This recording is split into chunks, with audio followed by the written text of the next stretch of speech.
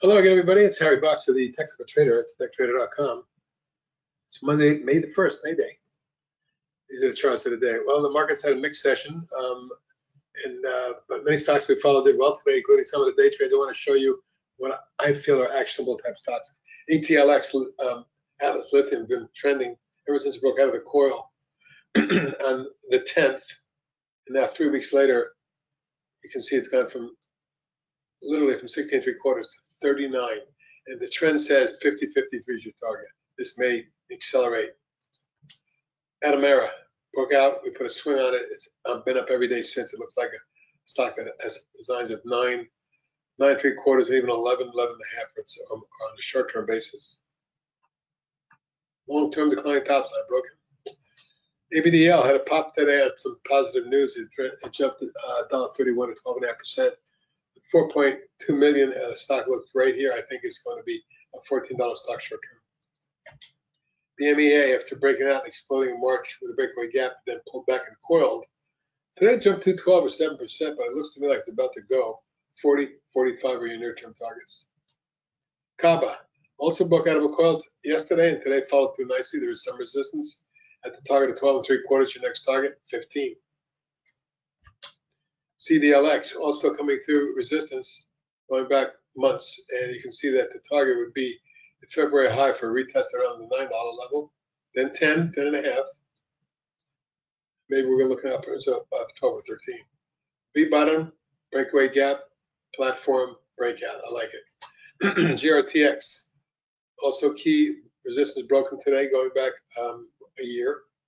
Today it popped from uh, 274 to 308 up 35 cents. That's about 12 and three quarter percent on over a million shares. Volume picking up as it goes out. Um, your next target probably about three and three quarters and five. HIMS had a beautiful rising channel. Take a look at the recent action. This wedge formed. Today it popped 41 cents, three and a half percent. Doesn't sound like a lot, but it's the highest close we've seen all the way back, believe it or not, 2021. Now, this means to me that we're going to come up through and take out the $12 level, which is right at 12, 1205. And your next target is uh, 13 three quarters, 14, 15 three quarters, 16. IDYA popped today after exploding last week and pulling back, forming a wedge. Today it popped right back up. Going from 1811 to 2008, finishing right there up 182, a 10% gain. Looking for a retest of 21 three quarters, 24 next. FRX may be coming out of the coil we've been talking about for two weeks. It sure looks like a stock that's ready to go. Up about 5% today, but I'm looking for much more.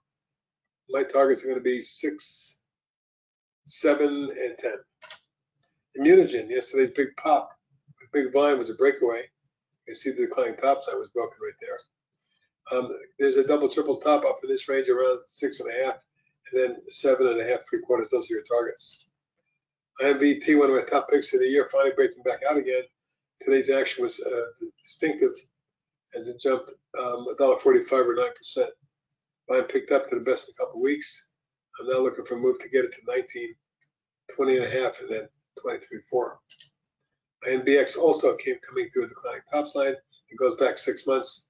Today's pop of 261 and 12.5%, an increasing volume tells me that we may have room to run into the 27 zone. MGNX also popped out of a wedge, it appears, or coil. Here's what I'm talking about, this coil here.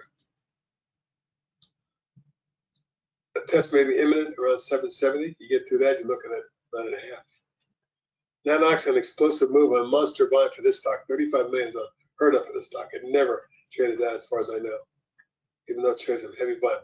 Heaviest volume in its history, on the FDA approval, jumping from six to almost 12, nearly doubling, finishing 1045 up uh, 71%. Uh, as I said, 35 million shares.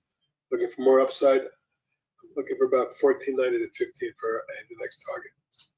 OCUP popped about 15% today, or 77 cents. Uh, looks to me like your target would be six and three quarters and seven and three quarters going forward. PCVX came out of a uh, broke out about a week and a half ago formed a little flag in here, held the moving averages and popped sharply, jumping 531 at 12.5% today.